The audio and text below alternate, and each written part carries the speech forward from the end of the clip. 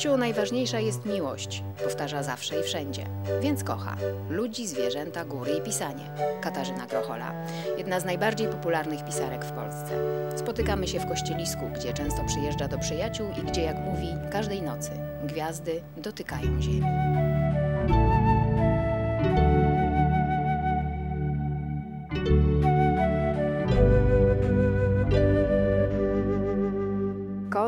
Owce, y, kury, Króliczki. króliczki y, i koło gospodyń wiejskich w Kościelisku. Zaskoczyła mnie Pani. E, Jestem honorowym, całkowitym członkiem koła gospodyń wiejskich w Kościelisku. No właśnie, i to mnie zaskakuje, gospodyni wiejska, bo ja wiem, że Pani żadnej pracy się nie boi, jest Pani kobieta pracująca, Ale różne rzeczy honorowa. Pani robiła. No tak, ale jednak te, te gospodynie wiejskie zastanawiam się, jak to. Popularna pisarka. Gotuję, piekę, umiem doić. Krowy lepiej mi się udaje, bo mają troszkę większe te... Mm, Wymiana. mhm. Nie chciałam w telewizji używać takich słów. Ale Piersi. bardzo spokojna była ta koza. A mleko było dobre? Mleko jest pyszne, najlepsze i w ogóle nie śmierci kozną u Ewy Słodyczki. To jest sztuka. A to kościelisko w ogóle skąd się wzięło? Kościelisko się wzięło stąd, że Ewa Słodyczka, z którą jestem zaprzyjaźniona, tu mieszka. W związku z tym, jak mnie poprosiła, y, to uznałam to za wielki honor i przyjęłam z przyjemnością. Mówi Pani, że Pani również piecze. Jakieś ulubione ciasto jest, które Pani wykonuje? Sernik Czy- wykonuje Sernik. najlepszy na świecie. A, to może kiedyś będziemy mogli spróbować albo poprosimy o przepis. Nie, bo tyle nie dam. Nie, nie tyle nie robię, żeby wszyscy mogli spróbować. Przepis jest bardzo prosty. Muszą być wiejskie jajka, wiejskie masło, prawdziwe wiejski ser. To wszystko się miesza, dodaje cukru. Rodzynek, skórki pomarańczowej, robionej własnoręcznie. Proste. A gospodynie wiejskie to dzisiaj zupełnie inny typ kobiety ni, niż kiedyś. Dlaczego? Nie. Ja myślę, że właśnie dlatego one są takie wspaniałe, że są takimi kobietami, jakimi były kiedyś. Że bawiły się, tańczyły, śpiewały, e, wykonywały potwornie trudne prace domowe, trzymały rodzinę w kupie, robiły sobie i bliskim dużo przyjemności. Że to na tym polega bycie gospodynią. Że e, to socjalizm nam zlikwidował. To piękne wyrażenie. Znaczy, no właśnie, bo takie Gospodyni. stereotypowe Gospodyni to jest ktoś niezwykle ważny. No, ja jestem gospodynią Mhm. swojego domu, prawda? Gospodyni to jest ktoś, kto panuje, zarządza, przyjmuje. To jest udzielna księżna. I kto wierzy w siebie? Ja nie mam pojęcia, jak zostanę honorową, całkowitą gospodynią wiejską. Pytam dlatego, bo zastanawiam się, czy, czy kobiety w Polsce wierzą w siebie, a właściwie często mam wrażenie, że nie wierzą w siebie dużo bardziej niż inne kobiety i zastanawiam, skąd się to bierze. Jak ja słyszę kobiety w Polsce, albo mężczyźni w Polsce, albo w ogóle kobiety i mężczyźni, to prawdę powiedziawszy, w ogóle nie wierzę już w takie zdanie, ponieważ kobiety są różne, mężczyźni są różni, ludzie są różni, więc jedna kobieta wierzy, druga kobieta nie wierzy. Ja myślę raczej, że następuje dużo bardziej przykry dla nas kobiet proces, to znaczy, że mężczyźni przestają w siebie wierzyć. E, Tak, słyszałam taką opinię, że ponieważ kobiety się robią coraz mocniejsze, to mężczyźni się trochę gubią w swoich rolach. Czy leżący obok kamień osłabia drzewo? Czy słyszą mnie moi przyjaciele buddyści? Oprócz moich przyjaciół katolików. No nie no, kamień jest kamieniem, drzewo jest drzewem, kobieta jest kobietą, mężczyzna jest mężczyzną. I to się nie zmienia, niezależnie od tego, Nie, to się Co trochę myślimy, zmienia. e, To trochę się zmienia, dlatego że za dużo jest między nami jakby nienawiści. Każdy chce mieć rację, każdy chce postawić na swoim, a w ogóle życie nie na tym polega. Na Już jestem polega? dorosła, więc wiem. Na tym, żeby się kochać wzajemnie. Kochać w sensie biblijnym. Nie chodzi o to, żeby wskakiwać do łóżka byle komu. Tylko naprawdę kochać. Jesteśmy tru- mhm. po to, żeby się nauczyć kochać. a to jest trudne, E, Myślę, że niełatwe. żeby się tak kochać bezwarunkowo, widzieć się, Nie, bezwarunkowo nas kochają tylko rodzice, a potem ta miłość jednak jest ograniczona jakimiś warunkami. No. Jeżeli kochamy kogoś, kto na nas pluje, nas dręczy, albo nas bije, albo chleje nocami i dniami, no to umówmy się, że to nie wygląda na miłość. No. To jest uczucie Ale wtedy co jest miłością? człowieka. Pozostanie z człowiekiem, który nas tak traktuje, czy jednak odejście i zawalczenie o siebie? E, nie, to taka mądra to ja nie jestem. Myślę, że zawsze, że drugiemu człowiekowi, który upada, jeżeli go kochamy, to nie pozwalamy na upadek. To jednak y, gdzieś tam go łapiemy po drodze. Jeżeli jednak jesteśmy ściągani w dół, no to kurczę, warto puścić chyba ten ciężar. Nie mając wyrzutów sumienia?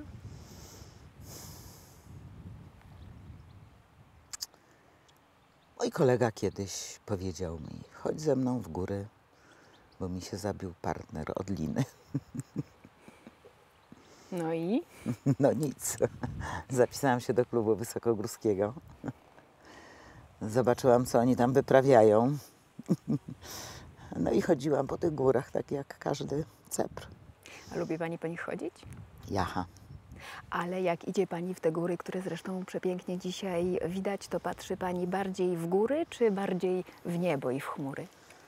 Y, Spędziłam noc w połowie Kasprowego, kiedyś w zimie, co zresztą opisałam, bo z przyjaciółką postanowiłyśmy wjechać, a potem się zatrzymać w Betlejemce, ale ponieważ y, ostatnia kolejka, i jak wylądowałyśmy na Kasprowym, to się okazało, że jest w ogóle mleko pod spodem i jest godzina tam 16.10 i właśnie słońce pięknie oświetla świnicę i nic poza tym. E, a ktoś nam powiedział, że już kolejka nas nie zwiedzie na dół i jak pójdziemy prosto, a potem w lewo, to trafimy do To. Betlejemki. No mówienie dwóm 17-letnim dziewczynom w nocy, e, w zimie, że mają Kasprowym sobie iść prosto, a potem w lewo, no jest głęboką nieodpowiedzialnością. Myśmy tak zrobiły po wyciągu na hali goryczkowej. Szłyśmy, no a potem, prawda, się okazało, że nie ma nic. Przypomniałam sobie wszystkie, ponieważ czytałam Zaruskiego i e, Wawrzyńca, wszystkie opowieści o siostrach skotnickich i wszystkich innych, którzy spadli w okolicach Tatr. Siadłyśmy w śniegu i przesiedziałyśmy noc, śpiewając świńskie piosenki, jedząc chleb z cukrem, żeby nie zasnąć. I próbując sobie poradzić Nie, ze okazało się, okazało się o trzeciej czy o czwartej w nocy, że jesteśmy 200 metrów pod schroniskiem, które było już nieoświetlone i nie było go widać. Natomiast to była jedna z bardziej upojnych nocy w moim życiu. Czyli nie A gwiazdy tutaj piękno. naprawdę Mhm. dotykają ziemi. Gwiazdy dotykają ziemi, to ładne, ładne stwierdzenie. Pewnie chcielibyśmy, żeby tak w życiu często było, żeby gwiazdy dotykały ziemi. Jak dobrze będziemy patrzeć, to się okaże, że prawie każdej nocy tak się dzieje. No nie w mieście, to wtedy trzeba wyjechać poza miasto. Gdy mm, doiła Pani kozę, w pewnym momencie powiedziała Pani do niej, ładne masz rogi, też takie miałam. No, Czy to znaczy, że kiedyś była Pani taką trochę rogatą duszą, a teraz już nie? nie, byłam zdradzana. Raczej to miałam na myśli. Duszę mam łagodną i spokojną. Chociaż trochę rogatą. Wierzy Pani w przeznaczenie? I zawsze odpowiadam, wierzę w Boga. Ale w to, co On dla nas chce, czy trochę w wolną wolę i w to, co my także chcemy? No przede wszystkim On nam dał wolną wolę, jeżeli już y, wierzymy, prawda? Ale, że zacytuję Grole z książki, e, prekognizja Boga nie determinuje ludzkich czynów, Chociaż czasami tak myślimy. chociaż czasami tak myślimy. Bo tak jest łatwiej, czy bo się boimy, czy po prostu jak człowiek Nie musi chcemy sobie... brać odpowiedzialności za swoje czyny, za swoje życie, za swoje wybory, za to, co robimy, kim jesteśmy, co nas spotyka. Mówimy, o Jezu, ale pech, ale ty masz szczęście i tak dalej, i tak dalej. A to nie jest ani szczęście, ani pech, tylko nasz wybór, A co jest dla Pani szczęściem? miłość, radość, harmonia, przyjaciele, rodzina, moje psy. Dzisiejsza koza, która mnie nie pokopała, wczoraj mi gorzej szło dojenie, więc miała prawo. A książki? No książki to jest moja pasja. Moje książki. Nie, Ale oczywiście. cudze książki to też jest moja pasja, więc Ja o Pani pytam, bo faktycznie y, mówi Pani w wywiadach, że właściwie zawsze Pani wiedziała, że będzie Pani pisać wcześniej no i zawsze później. pisałam, niezależnie od tego, co robiłam.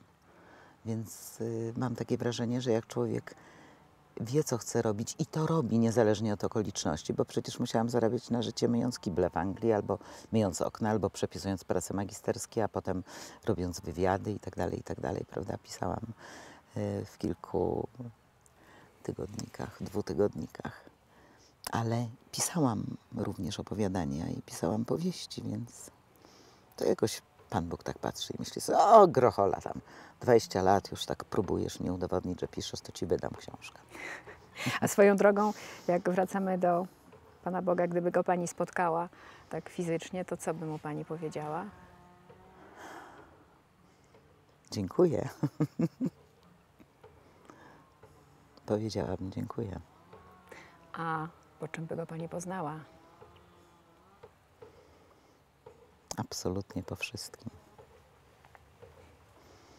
Nie pomylę się. Ale to jest tak, że zawsze myślała Pani, że to jest to, co chce Pani powiedzieć, dziękuję? Czy też jak człowiek Nie, jest no, młodszy, nikt to wtedy zawsze prosi? Takiego Nie, pytania. chodzi mi, chodzi, mi o to, mm, chodzi mi o to, że jak człowiek jest y, młodszy, to zawsze mu się wydaje, że, mm, że prosi, tak? Że chce, żeby, mm, żeby Oj, był szczęśliwy, to znaczy to, proście, to, a to, będzie to, wam to. dane, Mhm. A będzie wam otworzone, więc okej, no, prośmy, pukajmy i podziękujmy. Ale to zawsze było takie jasne dla Pani, bo Pani chyba się ochrzciła późno, słyszałam No, miałam jednym z 21 wywiadów. lat. No właśnie, Więc stosunkowo niedawno. E, za to świadoma decyzja. Myślę, że to się mieści w zupełnie innym planie niż ten, na którym rozmawiamy. Albo ten, o którym myślimy, że jest, albo ten, który podejrzewamy, że go nie ma. Że to jest rzeczywistość, która y, będzie taka, jakby ktoś przetarł brudną szybę, przez którą teraz patrzymy. Mam takie nieodparte wrażenie. W związku z tym wszystko będzie klarowne, prawe, słuszne i wszystko będzie na swoim miejscu. Bardzo możliwe, że już jest, tylko tego nie widzimy. Wystarczy słuchać i wystarczy patrzeć. Wystarczy wierzyć i wystarczy kochać. Kobiety, które Pani opisuje, w jakiej mierze są Panią? Każdej. Judyta pewnie więcej albo Ju, mniej. Judyta dużo więcej oczywiście, bo Judycie pożyczyłam swój zawód, swoje doświadczenia z odpowiadania na listy, swoje psy, swoje koty, swoje kurczaki rozsypane w pociągu, swoich przyjaciół, który, który, których miałam za płotem, swoją córkę niesporną y, wtedy, więc Judyta jest najbardziej, Judyta jest może w 10% mną, chociaż ja jestem w 100% Judytą, czy odwrotnie. E, ale powtarzam to zawsze. Jestem pisarką. To jest moja osiemnasta książka. Muszę być tym, o kim piszę. Muszę być oprawcą, jeżeli dręczę żonę. I muszę być zamarzającym psem, jeżeli szukam domu. Muszę być chłopcem ośmioletnim, który wchodzi w morze. Muszę być graczem i muszę być psychologiem. I muszę być pisarką kryminałów, która w tej książce się różni ode mnie zasadniczo. Ale tutaj pisze Pani o różnych uzależnieniach, bo jest i y, alkoholizm, i hazard, i Miłość. miłość, Romans. i złudzenia. Romans, ale także jest- złudzenia. Które z to tych jest książ- uzależnień jest najtrudniejsze tak Moim naprawdę? zdaniem najtrudniejsze uzależnienie, które wszyscy y, reprezentujemy w mniejszym lub większym stopniu, to jest uzależnienie od fikcji. E, nie zawsze odróżniamy rzeczywistość od fikcji. I to nie dotyczy tylko komputerów, hejtów, czy tam lajków, czy jakichś tam innych bzdur, e, które myślimy, że są prawdziwym światem, ale nie spotykamy się z drugim człowiekiem, tylko z naszym wyobrażeniem o nim. Nie widzimy tego, co jest poza słowem, a nawet poza czynem, tylko nakładamy własne kalki. I o tym jest ta książka, tak naprawdę. Oprócz tego, że jest o Polsce, o miłości, o Bogu, o nienawiści. Także książka o poszukiwaniu siebie? O, myślę, że bardzo, że udało mi się uchwycić to, co chciałam. E, To jest książka naprawdę. Straciłam mnóstwo czasu, straciłam mnóstwo czasu przesiadując w kasynie, ale również miałam ponad 5 tysięcy stron notatek. E, kilkanaście godzin filmów, które musiałam obejrzeć, rozmów z bardzo różnymi ludźmi, którzy się dzielili kawałkiem życia. Nie wszystko znalazło się oczywiście w książce, bo musiała mieć 2500 stron i zamordowała swoich ukochanych czytelników. Ale, ale jest okej. Jestem pisarką. Zawsze można y, historię jeszcze wykorzystać albo opowiedzieć dalej, ale jeżeli siedziała Pani w kasynie, nie ciągnęło Panią do gry? No oczywiście, że grałam. Wiem wszystko o grze, o kasynie. Czyli o życiu tak naprawdę, bo przecież e, w mojej książce kasyno jest tylko przenośnią życia. Chcemy wszyscy bardziej mieć, niż bardziej być. A No tymczasem jak teoretycznie mówią... wszyscy wiemy, że ma być odwrotnie, Nie, nie, ale... nie, to nie ma być odwrotnie, dlatego że też szanujmy y, siebie, własną pracę. W związku z tym pieniądze, które nam pozwalają mieć, nie wiem, dom, mieszkanie, samochód, psa, kota, jedzenie dla dzieci, prawda, pomoc dla rodziców czy coś takiego. Ale chodzi mi o to, że y, ja lubię bardzo chińskie przysłowia i pamiętam takie jedno, które mi jakoś zapadło w pamięć, że za pieniądze można mieć lekarstwa, ale nie zdrowie. Można mieć seks, ale nie miłość. Można mieć stanowisko, ale nie poważanie. Można mieć budynek, ale nie dom. Można mieć zegarek, ale nie czas. I dopóki bogactwo zostawia na człowieku taki ślad, jak cień bambusa na piasku, to jest ok. Natomiast jeżeli staje się celem samym w sobie, jesteśmy straceni. To jest taka rzecz, y, którą trzeba zrozumieć w życiu. Pewnie każdy sam musi do tego dojść albo nie musi, to w zależności czego szuka, ale czy to jest rzecz, którą rozumiemy z wiekiem, czy to jest kwestia naszego podejścia do życia? Ja nie mam pojęcia, y, co mają inni ludzie. Ja w ogóle coraz bardziej wiem, że nic nie wiem i to mi się bardzo podoba. Ale fajnie ktoś tam buduje do mnie. Może Buduje dom, a nie ale budynek. miejmy nadzieję, no może właśnie, dom, może dom i miejmy nadzieję, że tradycyjnie góralski taki jak, taki jak trzeba. E, Nie wiem, co mają ludzie. Myślę, że y, jestem coraz bardziej skłonna nie oceniać. Nie oceniać zarówno siebie, jak i innych. W związku z tym myślę sobie, kurczę człowieku, tak masz. Jakiś przystojny 70-latek kupuje sobie świeże Porsche, prawda, e, cabrio i już sobie nie myślę, ale se przedłużasz własne ego. Tylko myślę sobie, a kurczę, spełniłeś sobie marzenia na Czemu nie? dojrzałość. Czemu nie? Może to było twoje. Rzeczywiście jakieś spełnienie, więc już. e, A jako młoda dziewczyna, jak widziałam takiego staruszka 35-letniego w ładnej bryce, Tak, to też myślałam, czasami o myślę, Boże. że kiedyś myślałam, że tyle, ile teraz mam lat, to Nie, więc teraz po prostu żyją. jakoś tak łagodniej podchodzę do rzeczywistości, no po prostu tak jest, jak jest. A ponieważ nie oglądam telewizji i nie słucham dzienników, w związku z tym żyję w spokojnym, dobrym świecie. Yy, stoję u stóp Giewontu, bardzo ma długie stopy. Trochę przerażająca góra, prawda? ale piękne. Wczoraj zapytałam cudowną swoją zaprzyjaźnioną góralkę, jakie to góry, a ona spojrzała na mnie i powiedziała, no jak to jakie, no Tatry. A ja myślałam, że po kolei tak Każdy poleci, szczyt. prawda? Tu czerwony, tu świnica, tu to, tu tamto. Ale Więc nawet nie wiem pod jakimi. Ale może to też jest tak, że jak człowiek się rodzi tu pod tymi szczytami, patrzy na nie codziennie, to po prostu są one normalną częścią. No dobrze, a jakie znaczenie tak naprawdę ma nazwa? No. Że ja mam na imię Katarzyna. Równie dobrze mogłabym się nazywać Innocenta albo Anabel. Prawda? No Byłabym właśnie, tą samą ważne, osobą. że są i że są piękne. Góra jest górą, I ptak że jest człowiek ptakiem. czuje, co czuje, patrząc na nie, Tak prawda? jest, tak myślę, że coś takiego. Wracając jeszcze do Pani książek, sprzedała Pani 4 miliony książek, a podobno... Znaczy wydawnictwa sprzedały. Oczywiście. Chodzi mi o to, że ludzie czytają Pani książki, a podobno Polacy nie czytają. Przynajmniej tak wynika ze statystyk. Y, To znaczy ja wiem, bo ja znam te statystyki i wiem, że w ponad 6 milionach gospodarstw nie ma ani jednej książki, e, w tym Biblii. Y, Ale ja w ogóle nie chcę wierzyć w takie rzeczy. Nie, nie wierzę. Myślę, że to jest taka, mm, taka propaganda, która ma zwolnić na przykład Ministerstwo być może Kultury od dotacji na książki, bo skoro ludzie nie czytają, to po co coś dotować? Mam Chociaż wrażenie, Grochola że- udowadnia, że czytają. no czytają, no jeżeli ja sama sprzedaję 4 miliony w Polsce samej książek, a mamy 38 milionów ludzi, no nie przesadzajmy. Mam przyjaciół, którzy czytają. Ja wczoraj w Empiku w Zakopanem zamówiłam cztery książki. Jedna będzie szła do mnie z Białego Stoku, jedna będzie szła do mnie z Tarnowa i tak dalej.